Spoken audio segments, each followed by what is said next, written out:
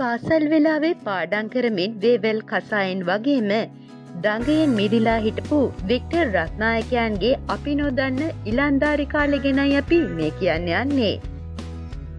ඕ ඒ ගැන පුවත්පතකට කියලා තියෙන්නේ මේ විදියටයි. කඩුගන්නාව කියන මගේ ගම් ප්‍රදේශයේ තිබුණ සුන්දර පරිසරයට ආදරය කරමින් ජීවත් වනා. යාළුවෙක්ක එකතු වෙලා අලගල්ල කන්ද බලන කන්ද උන්නස්කිරිය උතුවන්කන්ද කියන කඳු නැගලා ඇලේ දොලේ නාලා උපරිම ලෙස ස්වභා සෞන්දර්ය වින්දා. අවුරුදු නවේ ඉඳලා සංගීතයට යොමුලා ඉන්න අතරේ තාත්ත මට හාමෝනියම් එකක් අරන් දුන්නා.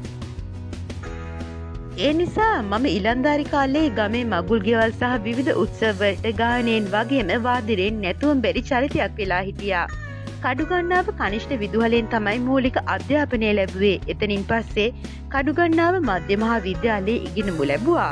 සාමාන්‍ය පෙළ හොඳින්ම සමත් වනා සංගීතයට වැඩීඩක් දීලා කටයුතු කළ නිසා උසස් පෙළ ගැන හිතුවෙම නැහැ. හෝඩී පන්තියඉඳලා ලගින්ම හිටපු යාළුවා තමයි කේඑච් කුලරත්න අදත් මාව බලන්න මගේ ගෙදරට එනවා.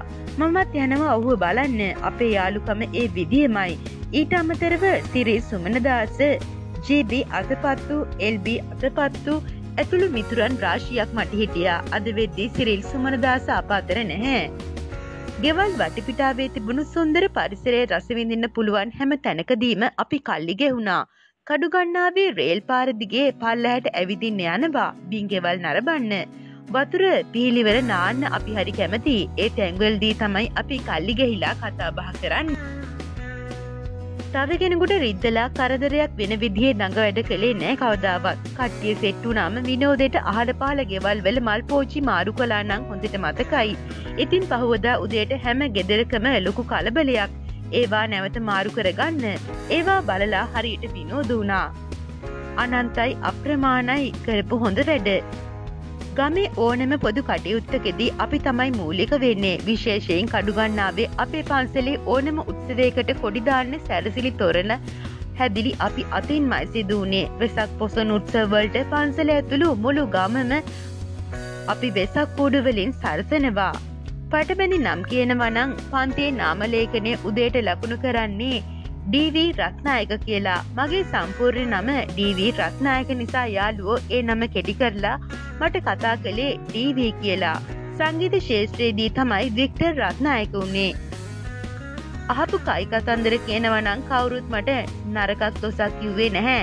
සංගීත කටයුතුවලට යොමු වෙලා ගමේම අයගේ විවිධ අවස්ථාවන්ට සංගීතය සපයන්නෙත් ගායනයෙන් දායක වෙන්නත් කිය නිසා හැමෝම ආව අගේ කලා ගැහැනු ළමන්ගේ ආශ්‍රය කියනවනං මිස්ට්‍ර පාසලක ඉගෙනගත්තු නිසා ඒ ආශ්‍රය ඕනමටත් වඩා තිබුණා. ඒ කාලේ ගැහැනු ළමයි පිරිම් ළමයි කියලා කිසිම බේදයක් නෑ අපි එකම පවුලක් වගේ ලොකු සහෝදර බැඳීමකින් තමයි ජීවත් වනේ.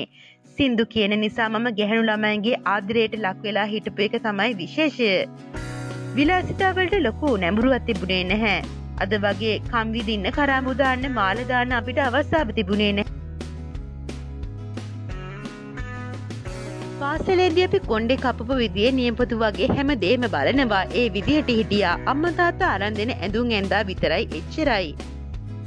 තිබුණු ලොකුම් බලාපොරොත්තු ඔය අහන කාලේදී නම් මම සංගීත පැත්තෙන් ගොඩක් ඉදිරියට ගමන් කරමින් හිටපු නිසා සංගීත ගුරුවරයකු හැටියට පත්වීමක් ලබා ගන්න ඕනි කියන බලාපොරොත්තු මගේ හිතේ තිබුණා. ඒවගේම එක්දස් නමසය හැට අවුරුත්තේ මට සංගීත ගුරුවය ලෙස පත්වීම ලැබුණා. ඒත් එක්කම එක්දස් නම්සේ හැත්ත තුන වසරේදී මම සෞන්දර්ය විශ්වවිද්‍යාලයටත් ඇතුළත් වනා.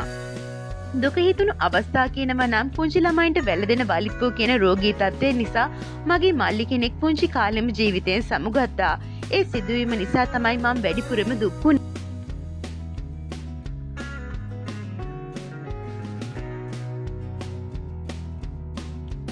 හැබේ නොවන හීන තමයි මම කවදාවත් සිහින දැකපු සහ දකින කෙනෙක් නෙවෙයි. එන එන විදියට ජීවිතයට මුහුණ දෙමින් ඒ ඒ අවස්ථාවන්ට උචිත විදියට ක්‍රියා කරන විතරයි.